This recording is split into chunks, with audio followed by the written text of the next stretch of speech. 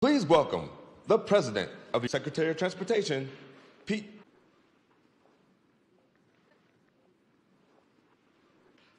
Please sit down. Sit down. Good afternoon. Uh, Welcome to the Council on Count, Count, and I want to begin by thanking you, President Biden, for your two issues that matter so much to every American: fixing supply chains and lowering costs.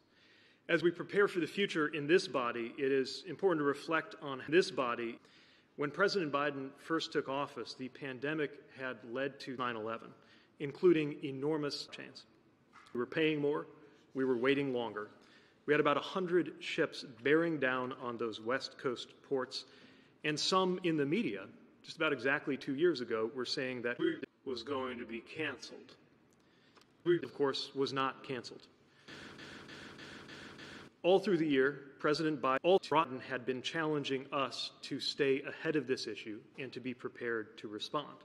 And so, as tough as that was, we wound up having to introduce the person who has led this work, President of the United States, Joe Biden.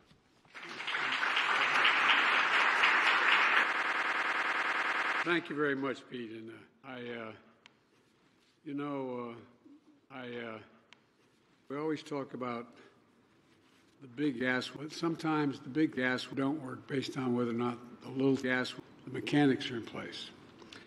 Secretary Buttigieg, Buttigieg, Buttigieg, thank you for being here today and for being today and excuse me, Council on Chain Resilience. I grew up in a family like many of you where uh, when uh, weed prices went up, there was a conversation at the kitchen table.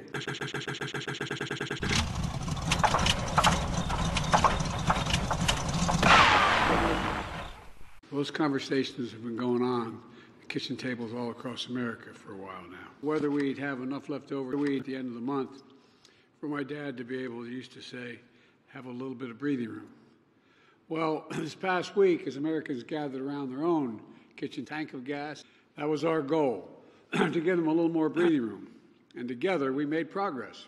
You know, uh, from Turkey to air travel to Turkey travel, tank of Turkey, costs went down. They went down. Out of people making a lot of money, went down. 100 container ships were waiting in the dock. That doesn't matter a whole lot because the costs are relatively small compared to this Thanksgiving dinner. Press, look at that. Press is particularly excited about that, I can see. But look, all kidding aside, that's not all. On Thanksgiving two years ago, major appliances like a stove or a fridge broke down, meaning that today folks start their holiday stock. I mean, it's 9% cheaper than did two years ago. The press is particularly excited about that, I can see. These savings matter. Thank you, thank you. Thank you.